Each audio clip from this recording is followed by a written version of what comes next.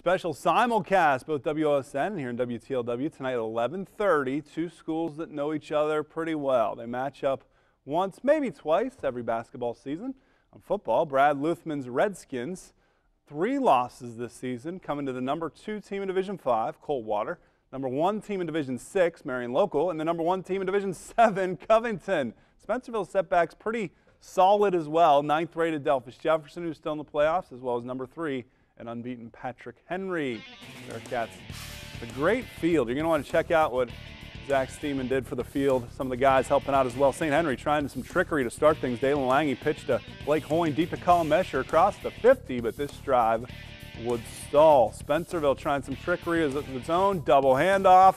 Calvin Wilson reaping the benefits across midfield.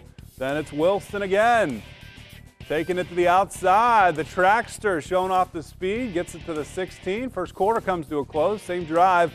Damon Blair on to attempt a field goal. He boots it through Spencerville with the early lead, and it was a defensive struggle in that first half. 3.22 left in the half. The sophomore, Jaron Fishbaugh, sprints to the corner of the end zone and gets in. St. Henry goes up 7-3 at the break, and they go on for the win. 37-22. Big win for the Redskins. So they are moving on. You can watch that one at 11:30, both on WOSN and WTLW.